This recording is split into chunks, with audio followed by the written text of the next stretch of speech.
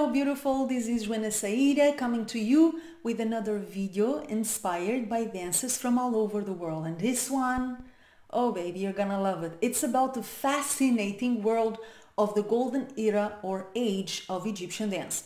What is the golden era? And why I know for a fact every Oriental dancer, student or professional should know all about it. Hmm.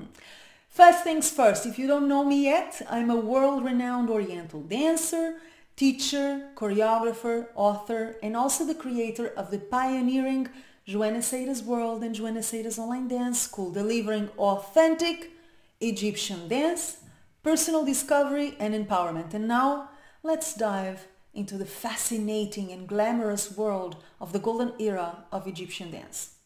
The first thing you gotta know is that when we talk about the golden era of Egyptian dance, we're talking about a specific time frame in the history of Egypt. From the 1930s to the 1960s, more or less, okay? We're talking about the 20th century, from the 30s till the 60s, more or less. We're talking about a time frame where Egypt witnessed immense openness and prosperity and excitement and evolution in many areas, not only in dance. Most dancers think that when we talk about the golden era, we're only talking about Egyptian dance. That's not true. We're talking about a time of immense creativity, immense talent, immense hope and excitement and advancement in all areas of Egyptian life, of Egyptian society. We're talking about an advancement in the arts. We're talking about an advancement in politics, in economy, in lifestyle. This was a time when people were coming from the nationalist pride of Abdel Nasser, believing and loving and celebrating Egyptian identity, Egyptian culture like never before. Remember that until the beginning of the 20th century, Egypt had been occupied for a long time by foreign colonizers. And there was a time when Egypt went back to the hands of Egyptians. King Farouk was kicked out of Egypt. King Farouk, the ally of the English, the last colonizers of Egypt, and then came Abdul Nasser bringing all the Egyptian pride to the table for the first time since the pharaohs. So the Golden Age is a product of that nationalist pride. It's a product of a time when Egyptians were interested in Egypt. They were interested in their culture, in who they were, in their traditions, in their language, in their specific unique fingerprint. Another thing you have to know about the Golden Age is that this was a time when a lot of talent and a lot of opportunities were created on so many fronts. We have Badia Masabni, for instance, whom I call the mother of modern Egyptian dance, giving opportunity to dancers like Samia Gamal and Tahia Carioca and a lot of composers, a lot of musicians, a lot of cinema and theater directors, a lot of politicians, a lot of figures in the culture of Egypt that allowed for the arts and for life to bloom.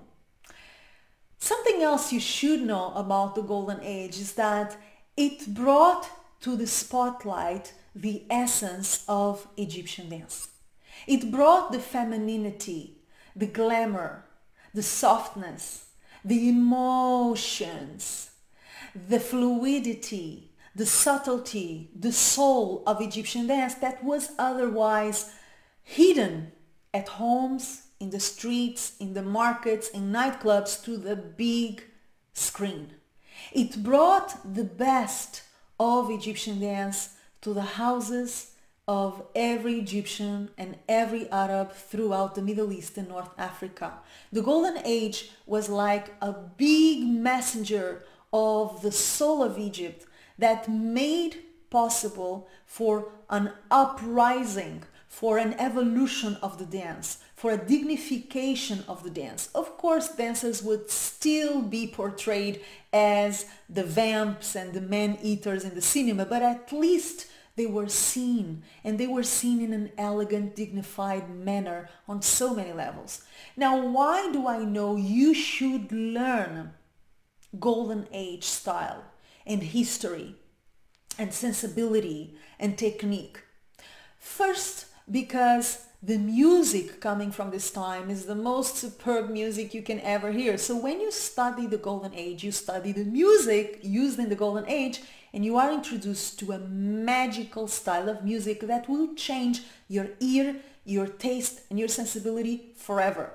The second reason why I know every dancer should know this style is connected with the specific technique, a transition between the classical Oriental dance and the modern, a transition between the professionalized Oriental dance made possible by Badia Masabni and the old style of the Awalim and the Ghawazi. Another reason why I know for a fact every Oriental dancer should know this specific style, it's because I think it's important to know the history of the dance. If you want to understand why people practice it and see it and treat it the way they do nowadays, look at the past and you will understand a lot of what gave rise to what we have today and what we can do in order to change the present. The mistakes that were done in the past that we don't want to repeat and the good things that were done in the past that we want to do more of.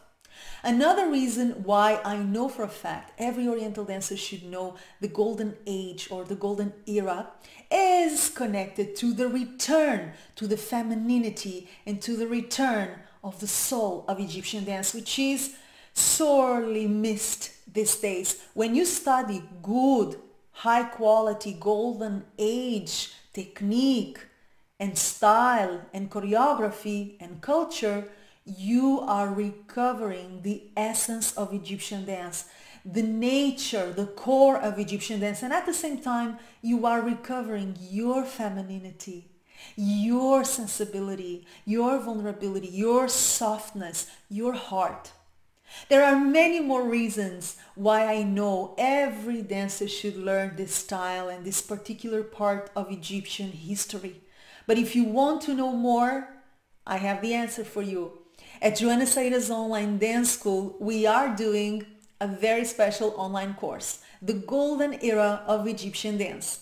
Subscribe now and get ready to fall in love with one of the most fascinating, rich and important times of the history of Egyptian dance. All the information about this course is in the description box below this video.